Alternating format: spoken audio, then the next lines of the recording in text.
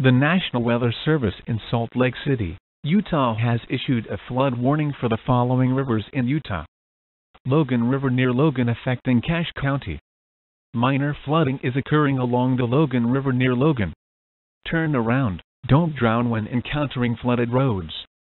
Most flood deaths occur in vehicles. Be especially cautious at night when it is harder to recognize the dangers of flooding.